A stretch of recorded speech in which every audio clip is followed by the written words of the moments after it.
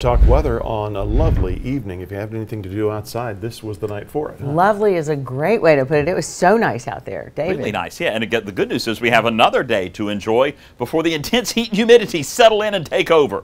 That's going to be happening later in the week. Too much? Yeah, maybe 70 in Chattanooga, 68 in Cleveland. Uh, winds out of the northwest continuing to bring in that nice dry flow of air. So our dew points in the 50s, we can certainly handle that. That is very comfortable air. We have dew points in the 50s, that lack of moisture making it feel good. 85 degrees are high today. The average high is 87 degrees. Notice we do have a bit of a deficit with our month and our yearly rainfall, and that is only going to grow up, up, up, up, up as we see no rain and lots of heat and humidity humidity through Father's Day weekend. 83 our high here, a local 3. Our Skywatchers checking in 79 Lookout Mountain, 86 in Soddy-Daisy, 78 in uh, Monteagle, and we hit a whopping 89 degrees in Delano.